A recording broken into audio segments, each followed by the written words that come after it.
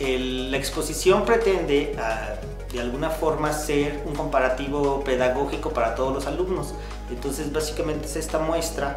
eh, digamos creo que a manera de feria de diseño, donde los estudiantes de todos los niveles eh, muestran el trabajo que desarrollaron durante todo el semestre y de alguna forma así van viendo lo que van a aprender eh, y las habilidades o competencias que están desarrollando. De alguna manera es una innovación educativa el ponerlos a, frente a frente con sus proyectos, con sus, con sus compañeros, para que vean dónde, cómo empiezan y cómo pueden acabar. Bueno, eh, los alumnos son de los diferentes semestres dentro de las materias de diseño y nos están presentando algunos de los trabajos y proyectos que ellos realizaron. No en su, en su totalidad, porque son muchísimos ejercicios que hicieron, pero sí algunos, los que quedaron vivos o los, que, o los mejores proyectos que, que ellos tuvieron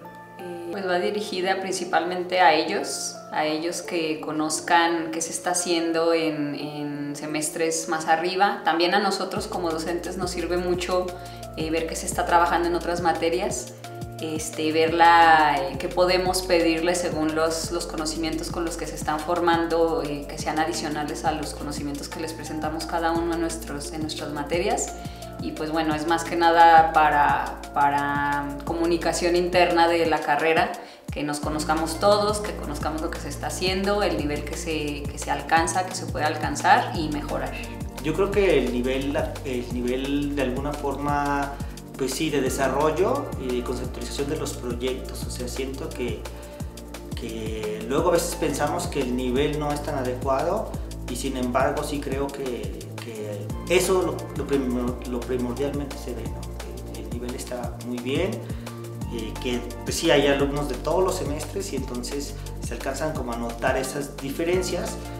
pero yo destacaría esa parte. Sí, yo creo que también es, es muy importante para nosotros, como dije antes,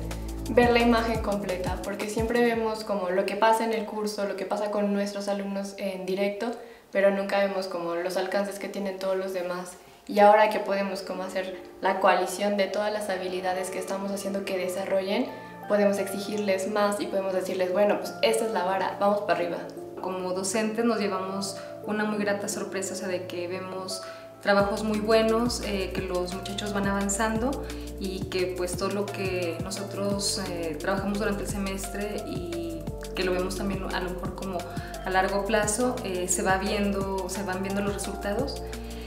y bueno, también como conclusiones es de que los muchachos eh, vemos que también son muy participativos y que si les damos la oportunidad de, participar y de ellos proponer, nos, o sea, nosotros nos llevamos sorpresas muy buenas. Hay mucha proactividad y, muchas ganas de seguir aprendiendo. Demostrarse entre ellos que, que están haciendo y no sé, hasta como de maestra, está orgullosa de lo que dice, mire, demostrarte otras cosas aparte de lo que presentan en tu materia. Eso, eso ha sido padre. Sí, definitivamente. Creo que es como un proceso y una carrera que es muy creativa, que los invita a utilizar tecnologías, eh, la parte como sensitiva, la parte funcional. Y entonces toda esa síntesis la alcanzamos a ver en, los trabajos, ¿no? Con diferente nivel de desarrollo, pero ahí está presente. Entonces, sí, por supuesto que es una carrera creativa que estaría muy bien que la gente o los que no saben qué estudiar se pusieran a, darse una vuelta y y un poco más.